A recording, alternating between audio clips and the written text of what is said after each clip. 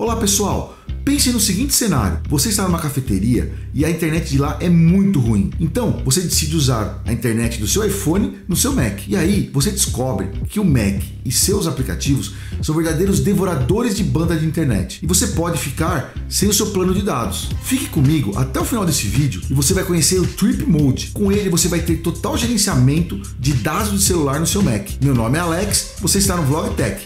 Bora lá? A realidade é bem essa. Você está com o seu Mac com vários aplicativos abertos, por exemplo, Safari, e-mail, o próprio iCloud em background fica acessando a toda hora a sua internet e você não tem controle nenhum sobre isso. E a hora que você tiver 4G do seu iPhone, rapidamente ele vai acabar com o seu plano de dados, pode ter certeza. E se você já está gostando desse vídeo, dê um like nele. Assim o YouTube sabe que esse conteúdo é relevante e vai mostrar para mais pessoas. E você também ajuda o canal. Cadastre-se no canal. Clique no sininho para receber notificação toda vez que eu colocar um novo vídeo aqui. Vamos para a tela do meu Mac e a gente vai ver como funciona o Trip Mode. Aqui na tela do meu Mac, você pode ver a ícone Trip Mode aqui em cima na barra de menus, ó. Ele fica aqui. Tá vendo? Ele já está me mostrando aqui os dados que está sendo consumido, mas eu não estou utilizando o 4G do iPhone. Eu estou utilizando a minha internet local. Então ele só me mostra, ele tá sempre monitorando. Aí eu venho aqui ó na internet e vou aqui ó Wi-Fi, tá vendo? Estou na internet da minha casa. Aqui apareceu meu iPhone, tá vendo? Aí eu pego e seleciono ele. Então a partir de agora ele vai conectar com a internet do meu iPhone. Veja que o Trip Mode agora ficou vermelho. Significa que agora ele está usando os dados do meu iPhone. Então ó, vamos lá.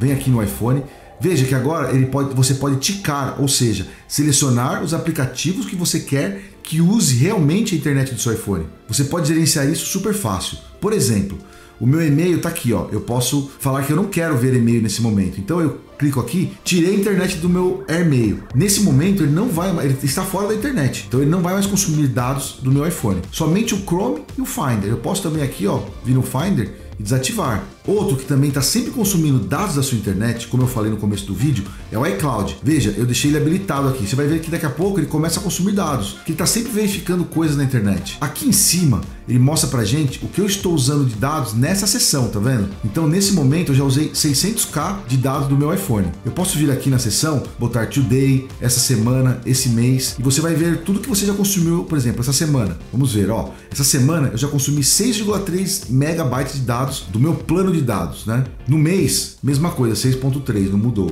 porque o mês começou agora também. Mas eu sempre deixo nessa seção para saber nesse momento que estou utilizando em tempo real. Bem legal, né? Agora, nessa ícone aqui, ó, eu vou mostrar para vocês aqui em settings as opções que o Trip Mode nos dá. Veja, primeira coisa, Open Trip Mode at Login, ou seja, eu sempre deixo habilitado para iniciei o Mac, ele já carrega automaticamente e está ali na minha barra de menus. Aqui você pode falar o seguinte: todo aplicativo que você iniciar ele, que é novo para o Trip Mode, ele vem automaticamente bloqueado. Eu não quero que ele venha automaticamente já usando a minha internet. Aqui embaixo é o seguinte: quando um aplicativo que está desabilitado tenta acessar a internet, ele te avisa. Ele vai dar um flash na sua na ícone. Você pode botar um som, por exemplo. Deixar aqui Glass, por exemplo. Tá vendo? Ele está te avisando que algum aplicativo está tentando usar a tua internet.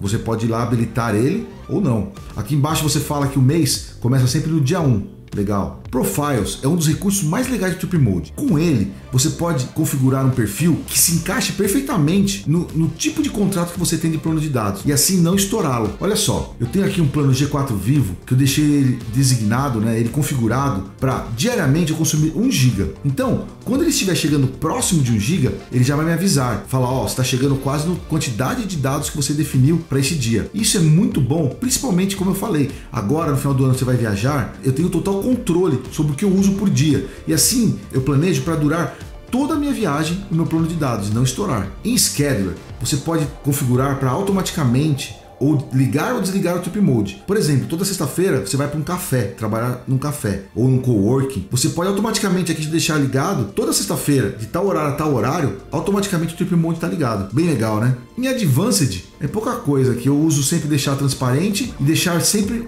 o Trip Mode no topo de todos os outros aplicativos. O resto eu não utilizo. E uma coisa bem legal do Trip Mode é que ele faz parte do SetUp. Se você não conhece, o SetUp é um aplicativo que você paga mensalmente, é como se fosse um Netflix. Você tem uma assinatura, você tem acesso a muitos aplicativos. E eu vou deixar aqui embaixo no descritivo desse vídeo um link para você poder conhecer o SetUp. Ele é bem legal, eu recomendo muito ele. Voltando aqui na janelinha do Trip Mode, ainda aqui na ícone, você tem aqui mais um recurso que é o seguinte: ordenar os seus aplicativos aqui da janela.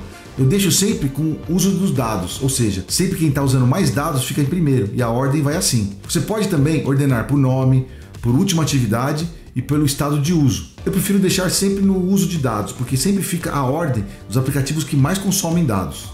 Eu já falei do Trip Mode em um outro vídeo aqui do canal e vou deixar o card aqui em cima. Depois dá uma olhadinha lá. E se você tem alguma dúvida ou ainda alguma sugestão de aplicativo similar ao Trip Mode, deixa aqui embaixo nos comentários desse vídeo. E se você chegou até aqui, dê um like nesse vídeo. Assim o YouTube sabe que esse conteúdo é relevante e vai mostrar para mais pessoas. E também assine o canal. Clique no sininho para receber notificação toda vez que colocar um novo vídeo aqui. Por hoje é só, pessoal. Muito obrigado e até a próxima!